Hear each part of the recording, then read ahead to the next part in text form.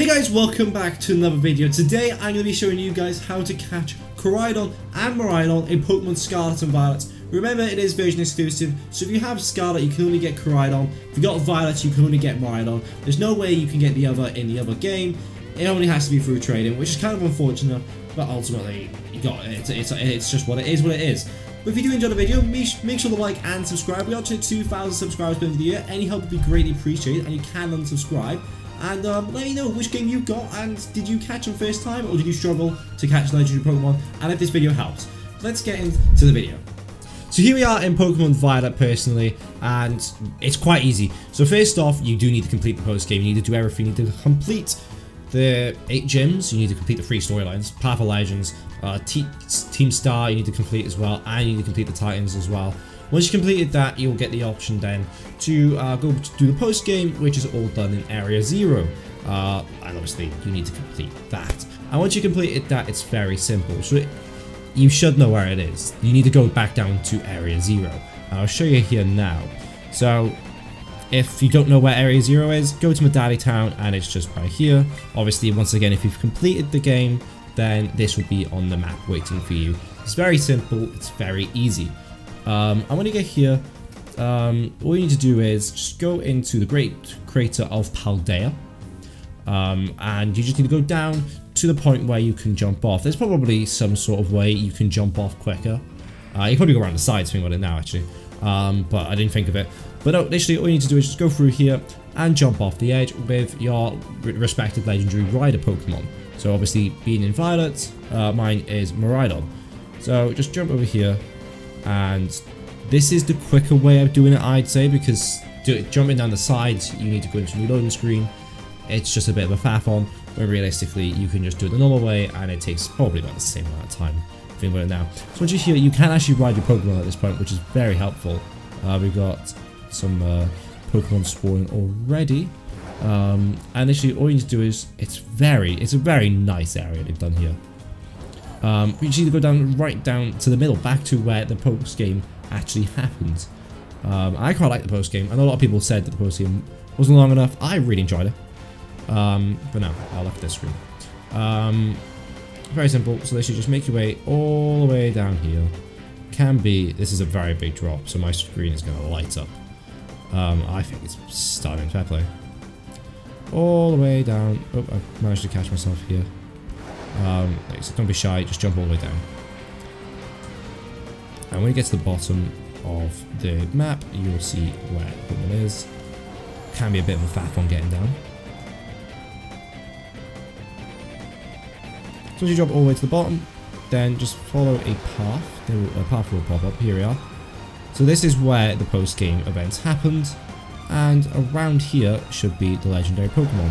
Just need to have a quick search around to see where he is. So yeah, I've gone to the back of the building, so you actually have to, I guess you have to go inside. And as you can see up there, there is the legendary Pokemon waiting for me. And it's going to be level 70, I think we need to remember.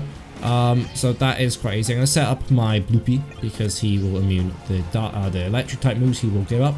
Uh, he'll, like I said, he'll be level 70, and it's a legendary Pokemon, so it's going to be strong. Uh, but literally all you need to do is just walk up to it and interact with it. You might need to walk up to it, interact with it, and it will set off a very cool cutscene, to be fair. Um, I like the fact you can you can see it in the reflection, and it makes his noise, and you initiate a battle with the box legendary Pokemon. Koraidon will be here. It's just whichever Pokemon you decide to go against. Um, so we'll go into his ability in a bit. But literally all you need to do is, oh, level 72, so my bad. All all you need to do is just not defeat him, preferably. That'll be a bit of a pain in the ass. He's going to be very strong, once again. We'll go into his stat in a little bit. Um, but like just a quick little battle. They are, see, got him very weak very quickly. And the best ball I would recommend using is Ultra Ball. Like, obviously, you use the Master Ball, you're going to catch him. Um, but like after a while of using Ultra Ball, he will get in, he, he will be caught. I think his catch rate is 13.2 all around that area. So it's quite low, but I don't even have slow. I don't even have slow. But they are I got him. Oh, I thought I was in. But no, I'll catch back when I caught him. Let's go that again.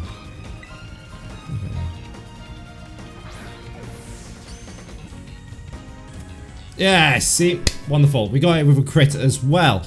Uh, that did take me a little while. I think I went through about 20, 25 Pokeballs. So it took me quite a little while and a lot of my Pokemon fainted.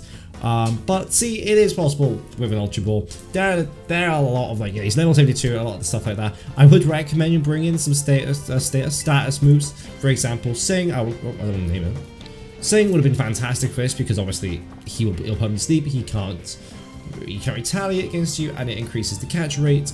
I didn't bring anything. I just let it attack me, uh, which I, it works. It works ultimately. Oh, and there's also a cutscene afterwards, which I kind of forgot about. Um, so I think it's just Yarmaridon. Oh, I don't know what that was. But I'm sure that will be explained later on. Um, I love this wall. But no, we're going to go into now, we're going to quickly just go into some stats about Koraidon and Miraidon to help you catch him better and understand the opponent that you will be facing a little bit more. Boom, and that is how you catch the legendary Pokemon in Scarlet and Violet. Hopefully it helps you out, but it's going to go through some stats just to help you out further in catching the Pokemon and what to expect when it comes to the Pokemon. So I've got the stats on the screen to my right, uh, might be, it'll be your left. Um, so this is what you can expect. So when it comes to Koraidon, he's got very good stats, totaling to a whopping 670. You've got to remember, he is a legendary Pokemon. So when it comes to his individual stats, HP stat will be 100, attack stat will be 135, defense stat will be 115, special attack will be 85, defensive, well special defense will be 100, and his speed will be a very good 135. Of course, totaling to 670 and he is not he's not a joke of a Pokemon. He will give you problems. He's more of an attacking based Pokemon, so if you, I would recommend setting up with defensive Pokemon just to kind of attack, just to kind of take the shots, hopefully put him to sleep.